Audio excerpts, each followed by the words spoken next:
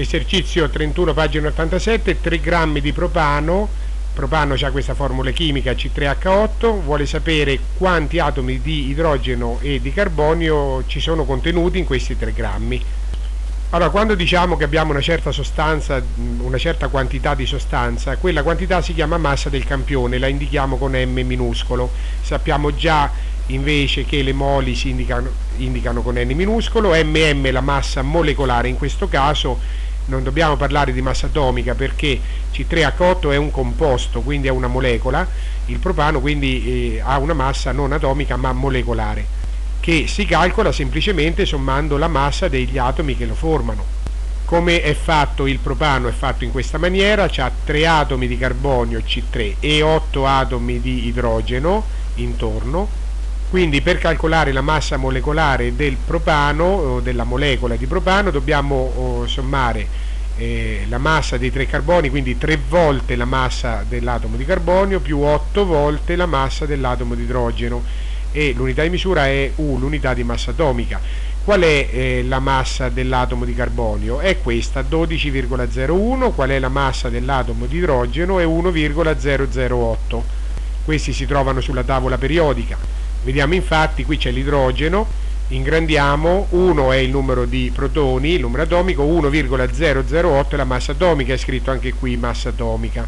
Il carbonio invece ha 6 protoni, non ci interessa, ha 12,01 U, unità di massa atomica, questa è appunto la massa atomica del carbonio.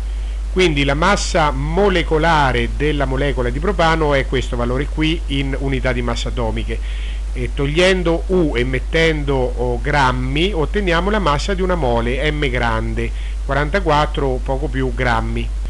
Qui ho, ho riportato il, la massa atomica dell'idrogeno e del carbonio che abbiamo visto sulla tavola periodica. Poi per fare questi esercizi si usano spesso queste due formule. La massa del campione uguale le moli per la massa eh, molare e il numero delle particelle, in questo caso delle molecole, è uguale alle moli per la, eh, il numero di Avogadro. Sono intuitive queste due formule, infatti cominciamo dalla prima.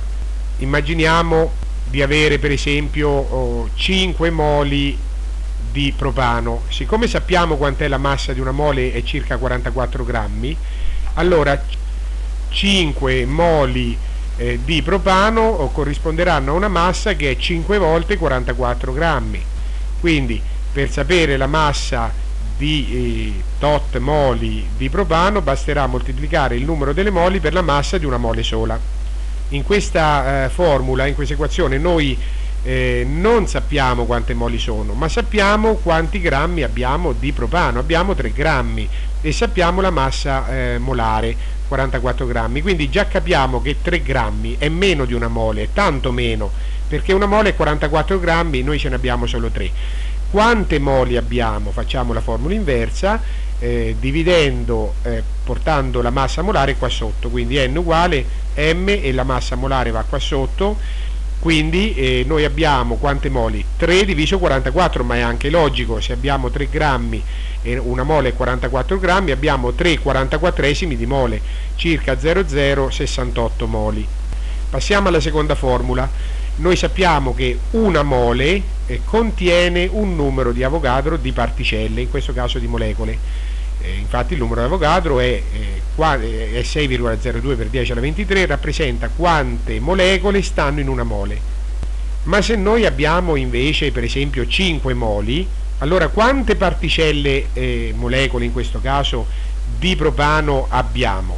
Se fosse una mole avremmo un numero Avogadro di molecole ma abbiamo 5 moli, quindi dobbiamo fare per 5, quindi anche questa formula è intuitiva, ci dice come calcolare il numero delle particelle, delle molecole, conoscendo il numero delle moli, dobbiamo moltiplicare il numero delle moli per il numero di molecole in una mole sola, che è il numero d'Avogadro.